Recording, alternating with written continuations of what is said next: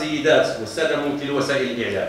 في مقابل إحصائيات المظهر العام للجريمة في المجال الحضاري اسمحوا لي أيضا أن استعرض على أنظاركم بعض المؤشرات الرقمية المهمة والدالة والتي توضح بجلاء حجم المجهودات الأمنية المبذولة لمكافحة الجريمة وزجر مقترفيها وهذه الأرقام هي كالتالي اسفرت العمليات الأمنية التي باشرتها مختلف المصالح والمجموعات التابعة للمديرية العامة للأمن الوطني.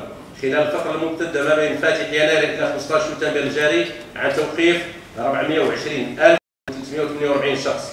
من بينهم 331252 تم ضبطهم في حالة تلبس و89096 شخص.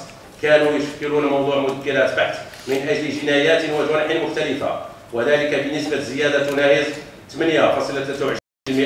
مقارنة مع نفس الفترة من السنة المنصرمة. نحددوا المكان. والزمان ديال ارتكاب ديك الأفعال الإجرامية. واش أفعال إجرامية؟ واش آه، حوادث معزولة؟ واش التاريخ ديالها قديم وجديد؟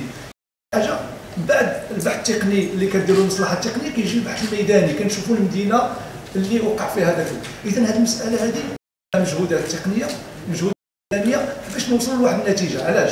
حنا ما يمكنش نعطيو للراي العام خبر غير دقيق.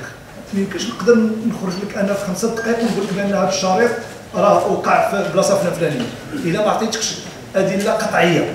لأن حنا كنعطيو معلومة. ما كنعطيوش المساله اللي ولكن اللي بغيت نقول لكم بأنه آه هذه المسألة ديال التفاعل ديال مصالح الأمن مع الأخبار الزائفة حقق لنا واحد المسألة اللي هي مهمة.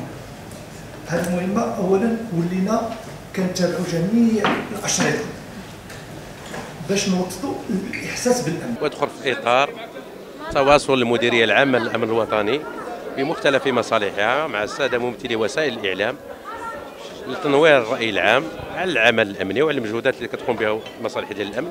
وكذلك باش نجاوبوا على الأسئلة ديال المواطنين سواء اللي كيسالوا على مستوى مواقع التواصل الاجتماعي ولا كذلك على مستوى الأسئلة اللي كيطرحوها السادة ممثلي وسائل الإعلام. هذا هو لا هو يعني ماشي هذا ماشي تواصل يعني كان استثنائي. التواصل راه دائما. مختلف وسائل الإعلام. ماشي هذه السنة ولا هذا الشهر ولا. يعني هو كاين خلايا ديال التواصل على المستوى المركزي والجهوي. وكاين كذلك مسؤولين على مستوى الإدارة اللي كيتواصلوا مع وسائل الإعلام. كل ما طلبوا منهم هما ذلك ولا كل ما آه، كان شي ندوة بحال هذه. هي هذيك من بين الاستراتيجيات. كذلك كاين المديرية العامة للأمن الوطني عندها استراتيجية عندها أهداف عندها أولويات. وهذا الفيديوهات اللي التي تنشر واللي الهدف منها ترويع الساكنة وفيها أخبار زائفة. رحنا كنتبعوها وكنديروا التحريات التقنية والميدانية وكنحيلوها على النيابة العامة وكنفتحوا بحث قضائي والأشخاص اللي كينشروا هذه الفيديوهات فيديو في سوريا ولا فيديو في الأردن وكينسبوا للرباط ولا للدار البيضاء ولا في المكسيك ولا في أي دولة أخرى. بالهدف هو ديال الترويع ديال الساكنة ونشر هذه الأخبار راه كاين كاين كاين القانون. اليوتيوب إلى آخره.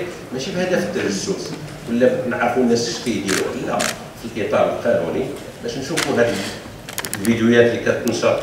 هي فيديوهات اللي ما عندهاش علاقة مع المغرب. كتكون في المكسيك ولا في الأردن ولا كتكون في الصين ولا في البرازيل إلى آخره. ويتم نسبوها لمدينه الدار البيضاء ولا لمدينه فاس بواحد الهدف ماشي بريء